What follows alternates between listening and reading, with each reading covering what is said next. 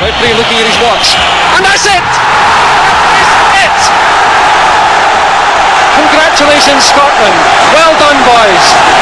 Joe Jordan, the winner. Willie Ormond out on the edge of